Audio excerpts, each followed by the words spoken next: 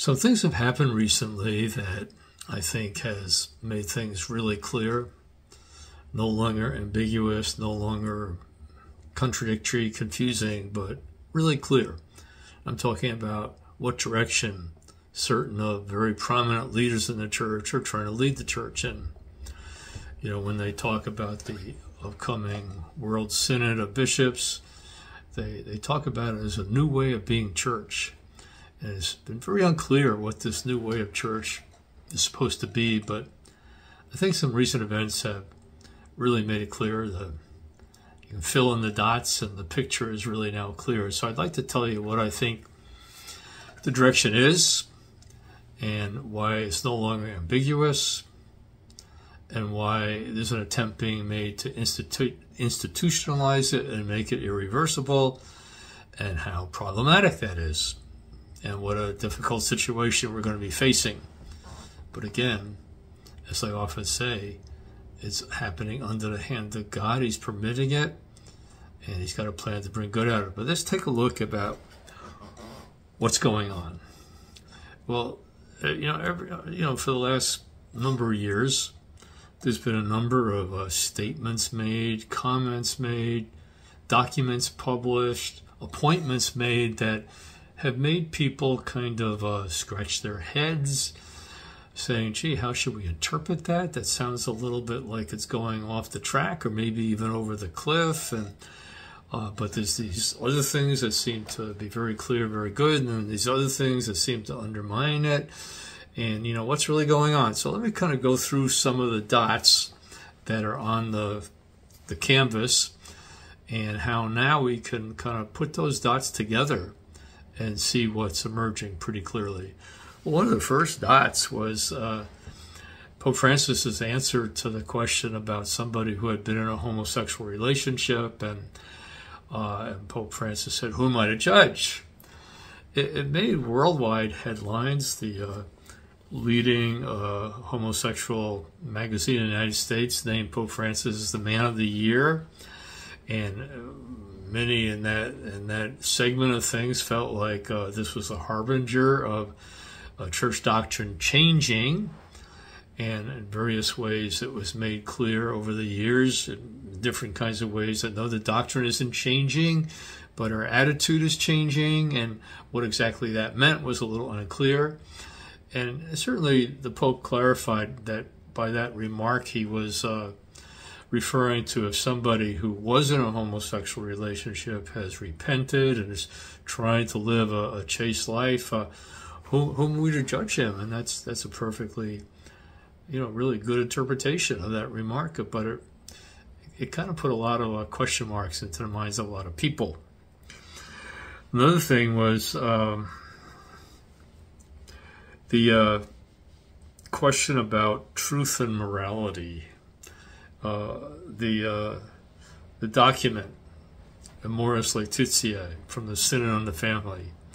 It kind of uh, it has some footnotes, it has some comments that really caused quite a bit of uh, controversy. A lot of a lot of Catholic theologians uh, made an appeal to Pope Francis to please clarify it. Uh, there wasn't any response to that, and then uh, some cardinals asked the Pope to please clarify how, how, how this was being interpreted was really in harmony with what John Paul II and Pope Benedict XVI had clearly ruled out as an acceptable approach to moral theology. Uh, the question was what the, the document seemed to say in, in a footnote that people who were divorced and remarried without having received an annulment maybe would be able to receive communion in certain circumstances. And that maybe that could be extended to other people too, uh, in, in other irregular situations. And uh, different bishops published their opinions on what it meant.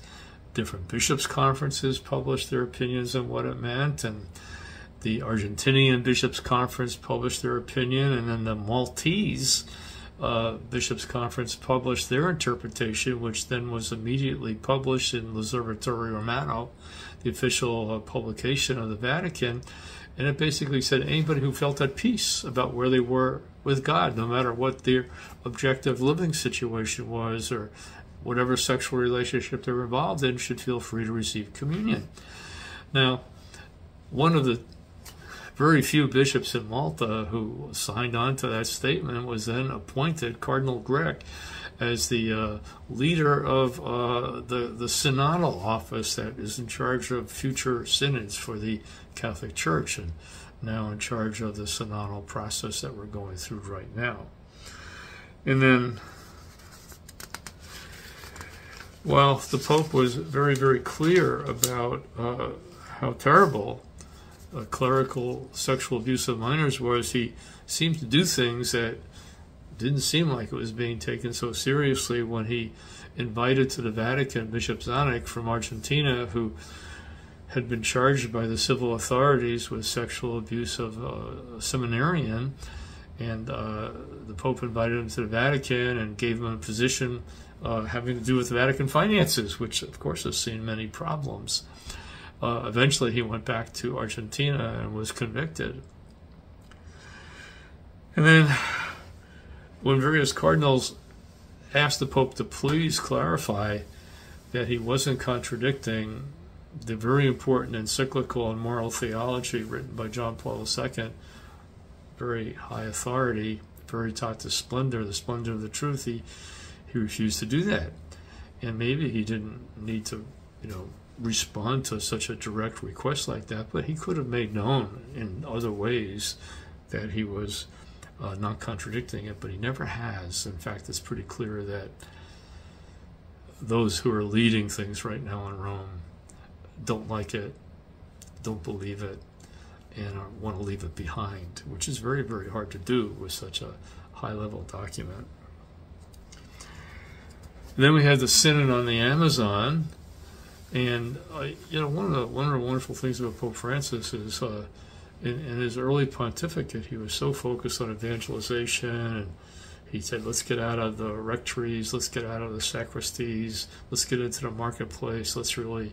be uh, willing to share the goodness of, of the gospel with people in all different kinds of situations. Let's not be afraid of making a mess. And I just thought that was a really wonderful breath of fresh air. And his first uh, apostolic exhortation, Evangelii Gaudium, uh, was a, was a breath of fresh air and has many many positive things in it.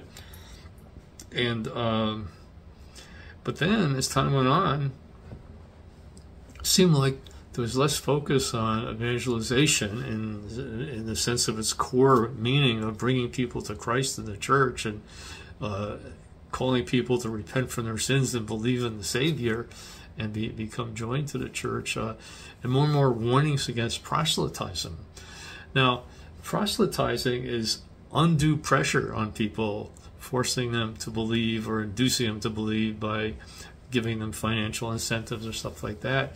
But it seems like the focus switched from evangelization to whatever you do, don't proselytize and and that left people a lot of confused like with because there's no definition of proselytism and how it's distinguished from evangelization. So that's just another thing that threw a little murkiness into the into the atmosphere. And then in the synod of the amazon one of the very main leaders of the synod was a missionary priest who boasted that in his over 30 years of missionary work in the amazon he had never baptized somebody and he was proud of that and what that was an indication of is that there's been a, a growing focus on the horizontal dimension of the church's mission, helping people improve their life in this world, and a less and less emphasis on the need to bring people to faith and repentance and conversion. And, and quite honestly, uh, the, the, the document that came out of the Amazon Synod, the other documents that come out in the environment, and, and other things, uh, well, while they contain many really good and wonderful things, they're giving the impression that the primary focus of the church should be on the horizontal and helping the world be a better place for people to live in it, which is certainly an essential part of Catholic social teaching and, and a demand of charity and justice. But quite honestly, the, the primary mission of the church is not improving the environment uh, and, and, saving the ecosystem of the environment. Oh, that's something we should do. But the primary mission of the church is calling the people living in the Amazon and all over the world, whether they're Jewish or Muslim or Buddhist or Hindu, to recognize Jesus Christ as the only provision that God has given by which sins can be forgiven and people can be saved. That's the mission, and it's really been de emphasized in many different ways. You know, some other confusing things where the, the Vatican kind of signed on as a signatory to uh, various global sustainable goals of the uh, United Nations and experts being invited to talk many times in the Vatican. Uh, and, and some of these sustainable goals are really contrary to the faith, and they're promoting abortion and various other kinds of things. Very, very puzzling. Now, there's a saying that personnel is policy, that it's the appointing, it's the appointments you make that really establish your policy. And here's where there's a, a number of things that are less and less ambiguous, more and more clear, and this is where the dots are really kind of being filled in. One of the remarkable appointments was appointing Archbishop Paglia, an Italian archbishop, coming from a bankrupt Italian diocese, coming from a place that was controversial because he commissioned a, a mural to be painted on the wall of his cathedral uh, by a homosexual artist, and there's a self-portrait of him there in the in the uh, mural uh, in an ambiguous situation. And uh, anyway, he got appointed to be head of the John Paul II Institute for Marriage and the Family which was established by John Paul II to strengthen the traditional teaching about marriage and family in the Catholic Church. And students from all over the world came there, and branches were established in Australia, the United States, and other countries. And then Archbishop Paglia uh, decided to uh, cancel the courses of two of the moral theologians who were like the very foundation of teaching in this institute and replace them with uh, Italian theologians from northern Italy who had published documents, published articles, sort of raising questions about Catholic teaching about the area of sexuality and marriage and family life. Now, there wasn't any ambiguity in this. This was objectively an action that totally changed the direction of the Institute of John Paul II for Marriage and Family and installed dissenting theologians and then other appointments.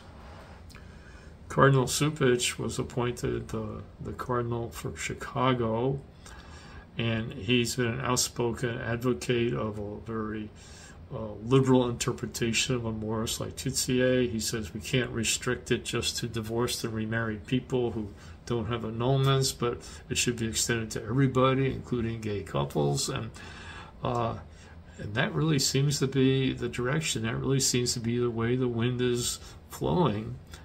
And he's been very favored in Rome. He's been appointed to the Congregation for Bishops. Now we call it the Dicastery for Bishops. That's in charge of vetting and the nomination of bishops throughout the world.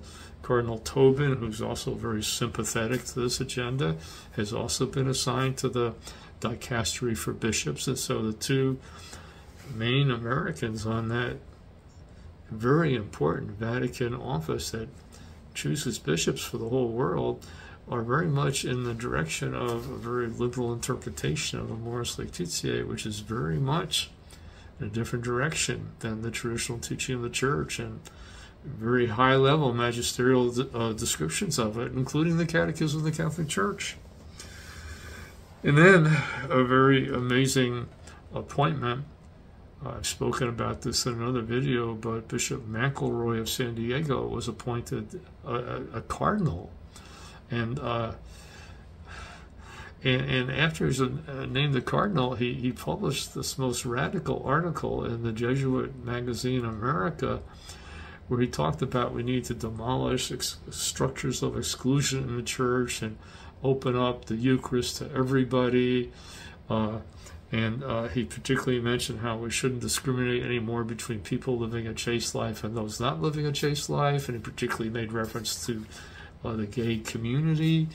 And uh, this, of course, is really a departure from the faith. And Bishop Paprocki, who's in charge of the canonical affairs and government uh, committee of the American bishops, wrote an article saying, you know, unless he and Bishop uh, Cardinal Hollerich, another appointment of the Pope, who was appointed to be the leader of the upcoming synod in October, uh, and unless these people kind of explain what they're saying in a way that's in harmony with the faith, they're they're really de facto in heresy. Cardinal Hollerich, by the way, the Archbishop of Luxembourg, was appointed by the Pope to lead the synodal process that's coming under Cardinal Grech, who's over the whole office.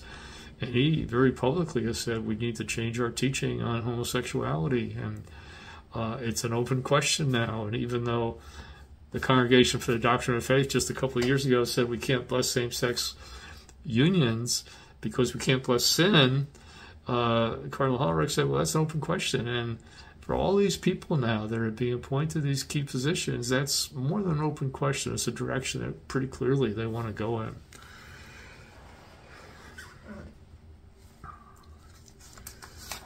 German bishops, of course, everybody knows they're heading in this direction, you know, full steam ahead. They're ignoring various warnings that even the Vatican has given to them. Cardinal Marx has been one of the longest standing advisors to Pope Francis. He was president of the German Bishops' Conference.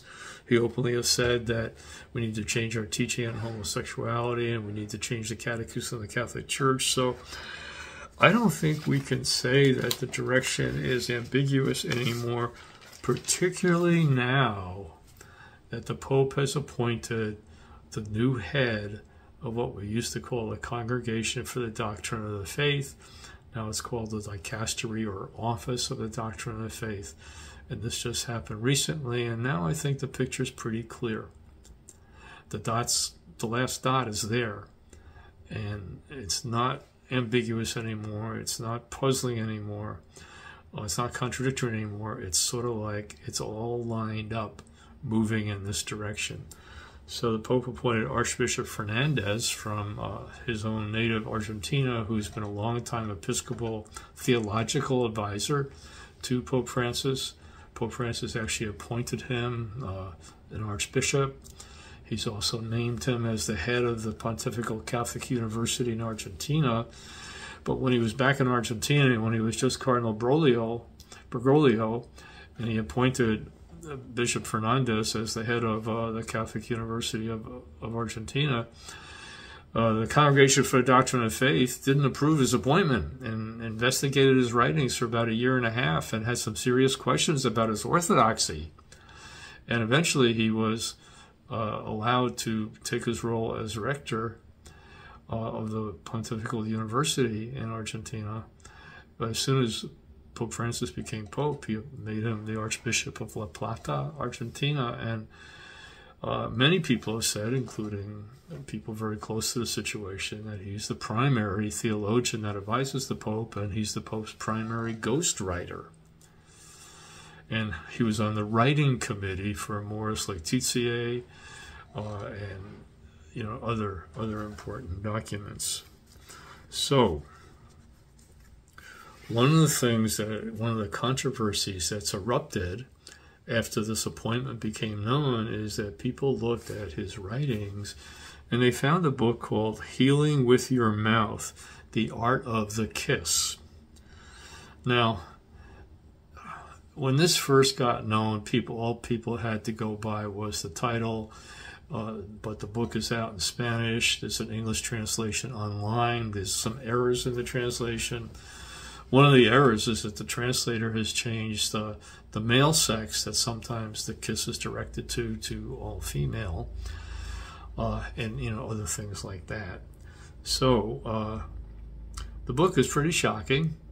Uh, I've read large parts of it, and uh, it's gross. It's erotic. I'd say it's pornographic. Archbishop Fernandez has defended it since he's been appointed, saying, well, he just wrote that as a catechesis for teenagers.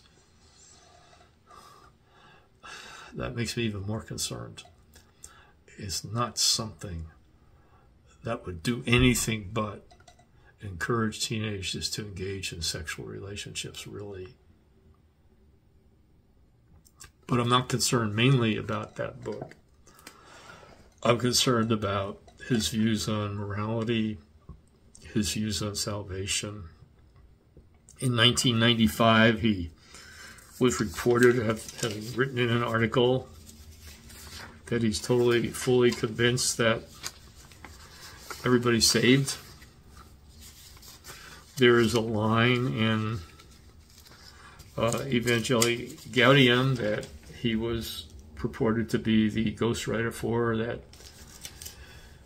says that uh, it's against the logic of the gospel that anybody would be lost forever.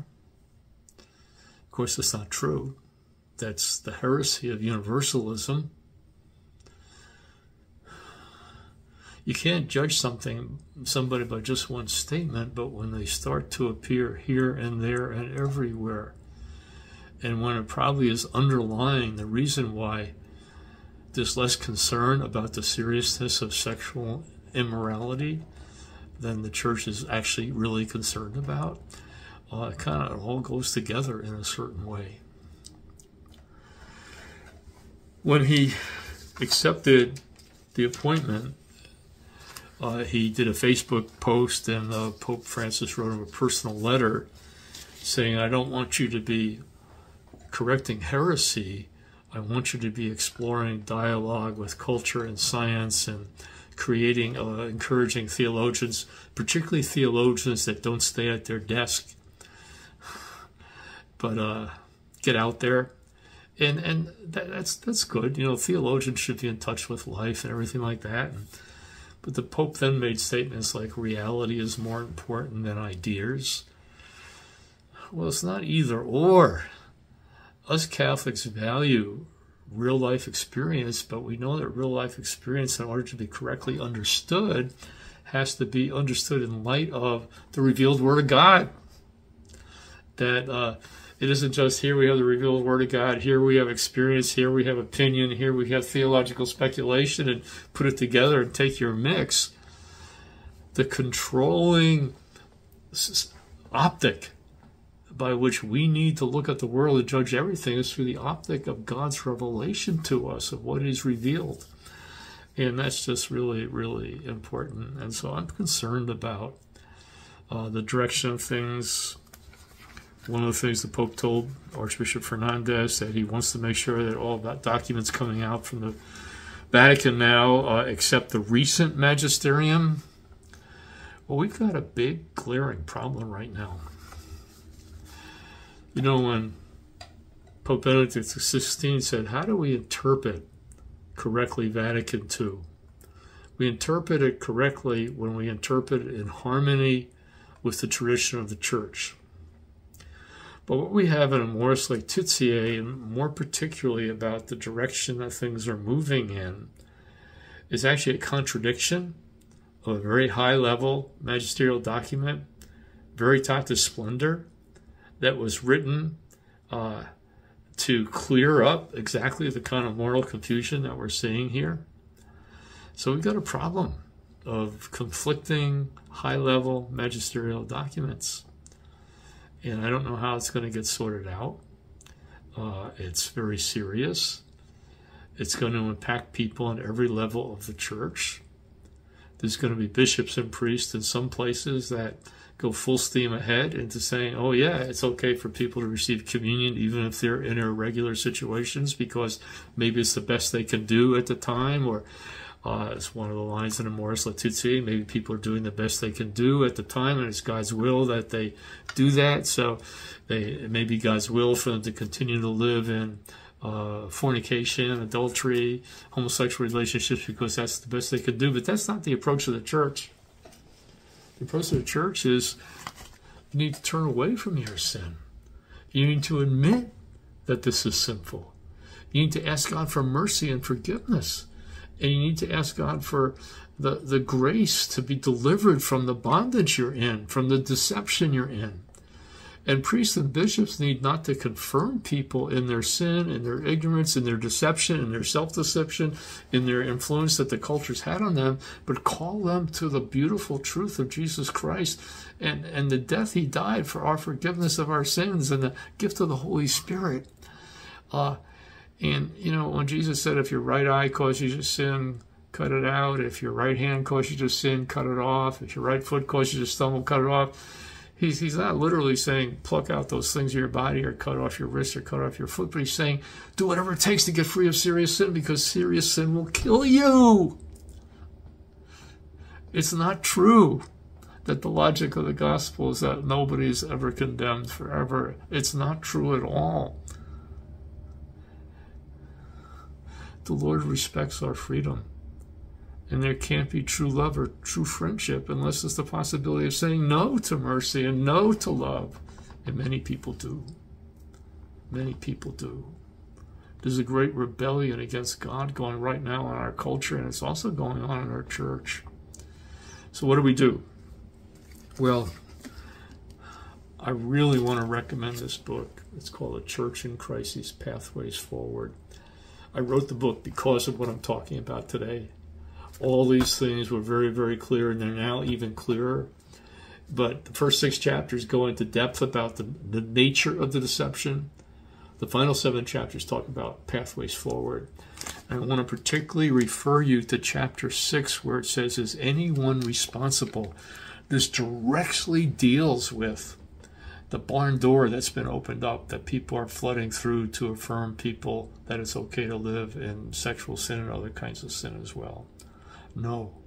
The whole thrust of the gospel, the whole thrust of the Bible, the whole thrust of the tradition of the church is not to try to figure out whether people are culpable or not, or to what degree they're culpable, but to call them out of what's objectively wrong, because what's objectively wrong is not just an offense to God, but it's harming the people who are doing these things. The Word of God is not arbitrary. The moral law is not arbitrary. The moral law is the path to happiness. The moral law is the path to God. And yes, we can't live this by ourselves in our own strength. And yes, sometimes we become slaves to sin. But Jesus came to deliver us from slavery to sin. So, uh, chapter six, I'd, I'd, really recommend it. Uh, you know, for anybody who has any any concern about these issues.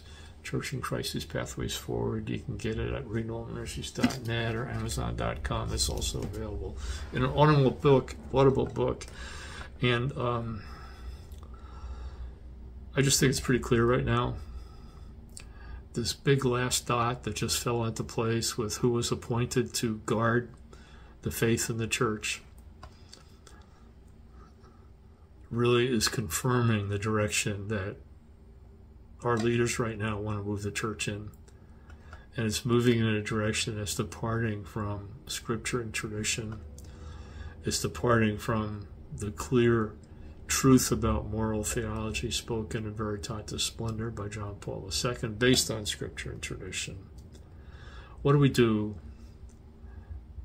We put our trust in the Lord. We intercede for our leaders. We intercede for our church. We intercede for our world. We need to ask God to rescue us from the confusion, rescue us from the division. It's going to be painful in the days going forward. It's going to be confusing. It's going to be it's going to be difficult. But the Lord is with us. There's nothing happening that He's not permitting, and He's with us. And He wants us to keep our eyes on Him. Get up every day and ask, Lord, how can I please you today in my life with my responsibilities?